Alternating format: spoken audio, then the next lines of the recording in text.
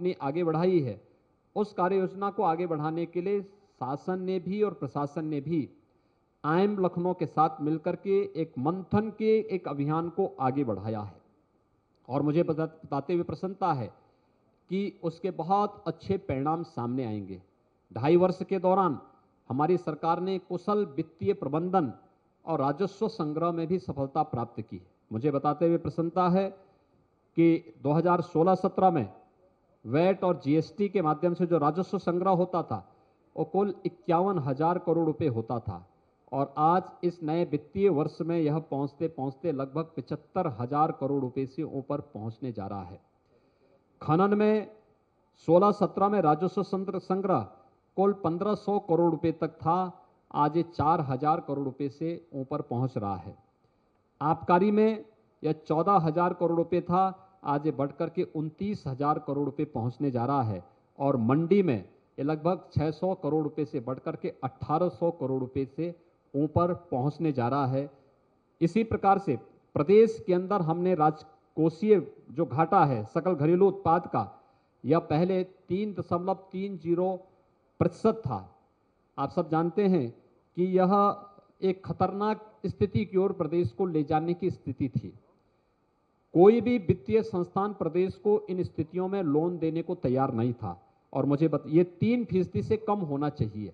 और मुझे बताते हुए प्रसन्नता है कि हमारी सरकार ने प्रदेश के अंदर न केवल लोक कल्याणकारी योजनाओं को आगे बढ़ाया न केवल किसानों के लिए नौजवानों के लिए महिलाओं के लिए समाज के प्रत्येक तबके के लिए नई योजनाएँ बनाई इंफ्रास्ट्रक्चर डेवलपमेंट की कार्रवाई की अभी तो अपने राज्य कोषीय घाटे को भी जो सकल घरेलू उत्पाद का तीन फ़ीसदी से कम होना चाहिए था, जो पिछली सरकारों में 3.30 प्रतिशत पहुँच चुका था, हमारी सरकार उसे पुनः दो दशमलव नौ तीस नौ सात प्रतिशत तक लाने में सफल रही है और हम उसको लेकर के आगे बढ़ रहे हैं।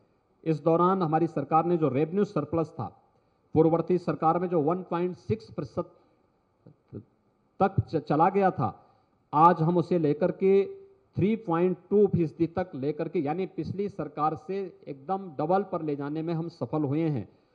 प्रदेश के अंदर आदरणीय प्रधानमंत्री जी के फाइव ट्रिलियन डॉलर की इकोनॉमी बनाने की कार्रवाई को आगे बढ़ाने की जो हमारी कार्रवाई चल रही है और उसके अंतर्गत हम लोगों ने जो पाँच हम लोगों ने प्रायोरिटी सेक्टर चुने हैं। उस पर हमने तेज़ी के साथ कार्रवाई प्रारंभ की है और उसी के लिए हम लोग आईएम के साथ वर्तमान में मंथन के तीन चरणों की कार्रवाई को आगे बढ़ा रहे हैं, जिसमें सबसे पहले प्रदेश के अंदर अवस्थापना सुविधाओं के विकास और उसके विस्तार को लेकर के है। दूसरा, प्रदेश के अंदर औद्योगिक निवेश और रोज़गार सृजन को लेकर के है। तीसरा, प्रदेश के अंदर कृषि विकास और उसके साथ हम लोगों ने एग्री एग्री एक्सपोर्ट को आगे बढ़ाने की दिशा में की जाने वाली कार्रवाई है। चौथा है शहरी विकास और नियोजन को लेकर के हम लोगों ने इस कार्रवाई को तेज़ी के साथ आगे बढ़ा रहे हैं और पांचवा जो सेक्टर हम लोगों ने इसके लिए चुना है, वह मानव संसाधन विकास के साथ जुड़ा है, जिसमें शिक्षा है, चिकित्सा है, स्किल मिशन है। टेक्नोलॉजी के साथ इसको जोड़ने की कार्रवाई इस पाँच सेक्टर पर प्रदेश के अंदर हम लोगों ने अपनी ठोस कार्य योजना के साथ हम अपनी कार्रवाई को आगे बढ़ा रहे हैं। मुझे बताते हुए प्रसन्नता है कि जो उत्तर प्रदेश, जिसके बारे में लोग ये मानते थे कि कहीं नहीं होगा, इस कहीं स्थान नहीं प्राप्त कर सकता, आज तमाम केंद्रीय योजनाओं में उत्तर प्रदेश नंबर एक और दो स्थान पर है। ढाई वर्ष के दौरान प्रदेश में हमारी टीम ने जो प्रगति की है, उसका परिणाम है कि प्रधानमंत्री आवास योजना शहरी या ग्रामीण उत्तर प्रदेश नंबर एक पर। स्वच्छ भारत मिशन में उत्तर प्रदेश नंबर एक पर।